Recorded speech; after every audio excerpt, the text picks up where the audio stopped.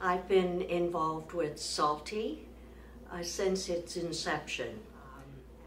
I uh, received a phone call from Janice Keefe at uh, Mount St. Vincent, um, encouraging me to join up with her and others as they were uh, writing or applying for a grant uh, to uh, put Salty into place.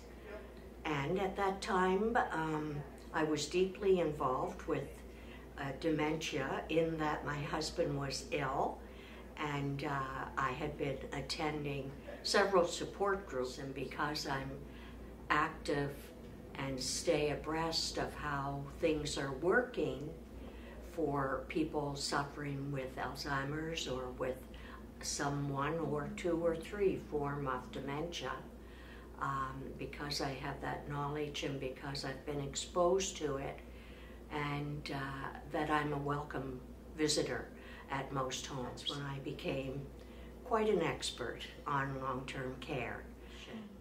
Uh, and so I became a member of Salty under Janice's guidance and I represented family, family caregiver. Cameron Lynham, I'm from British Columbia and I'm a healthcare assistant for Fraser Health. I've been with Salty since I think the beginning, 2016. Eye opening to be a part of this.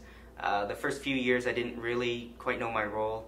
I was a little bit hesitant to find my voice, and uh, over time, I uh, became more confident and that I knew the field, and I did have something to share. I feel like uh, my points have been validated, and uh, my insight is a lot more valuable than I once thought. Uh, so yeah, it's it's nice that they really value what I have to say because they know that I see it day in day out, and I feel like my whole you know, my whole time as being a carried, I've, you know, I've had so many of these conversations, but mm-hmm. not with the right people.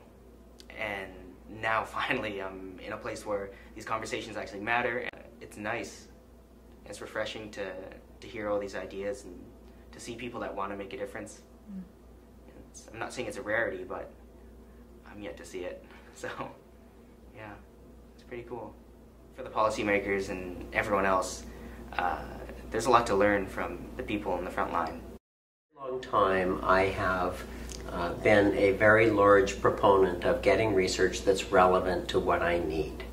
And as a knowledge user, too often I'm confronted with getting results of something that I haven't got the foggiest clue what to do with and have no good sense of how to use them to best advantage. And then many of the things that are coming forward are actually making us rethink what we need to do uh, around symptom management, for example, towards end of life. I have an opportunity to uh, assist with the formulation of where it's going so that it ends up being useful for me. Most important piece has been rubbing shoulders with and having the opportunity to sit down and engage in conversation with people who are actively in the field and doing research.